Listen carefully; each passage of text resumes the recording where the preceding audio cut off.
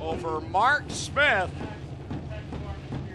So Parker Price Miller becomes a two time winner of the Canadian Sprint Car Nationals. Poirier second, Mark Smith third, Sam Hafertepe Jr. comes home in fourth, Davey Pranick fifth. Sixth, Scott Kruder. Seventh, Jordan Poirier. Great run for Mitch Brown. Up to eighth, Chris Steele. Ninth, and Jason Barney finds himself inside the top 10.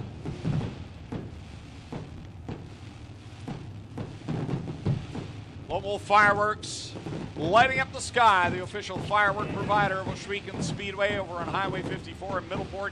Check them out online on Facebook for all your fireworks celebration needs. Lone Wolf Fireworks, the official firework provider of Ohsweken Speedway. We see Poirier, we see Smith just waiting for the winner.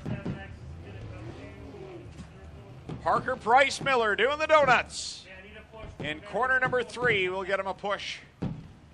And down to Lucas Oil Products. Victory lane for the second time in his career. The first time in 2016 for the law firm Parker Price Miller. They're gonna probably weigh him first. He's gonna go to the scales first.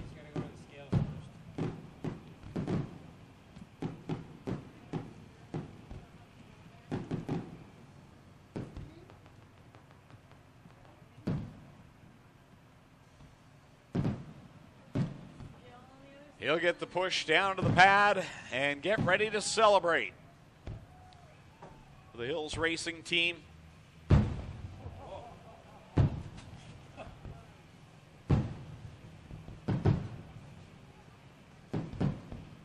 ones are big.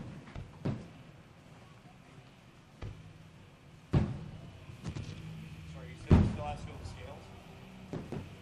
scales? Parker Price Miller's still needing to get to the scales before we can send it down to Lucas Oil Products Victory Lane and talk with Parker Price Miller. Here comes all the push trucks at once now.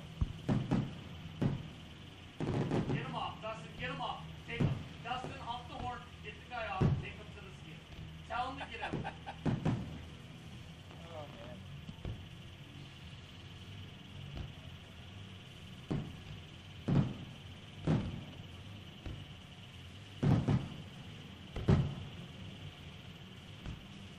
Parker Price Miller making his way now to the pit area. He'll cross the scales. If everything is A OK, he will make his way down to Lucas Oil Products Victory Lane. The Hills Racing team congregating down there. Steve Poirier. Pretty quiet weekend for Steve Poirier, but at the end he found the horsepower and got himself up to second. Mark Smith crossing the line in third.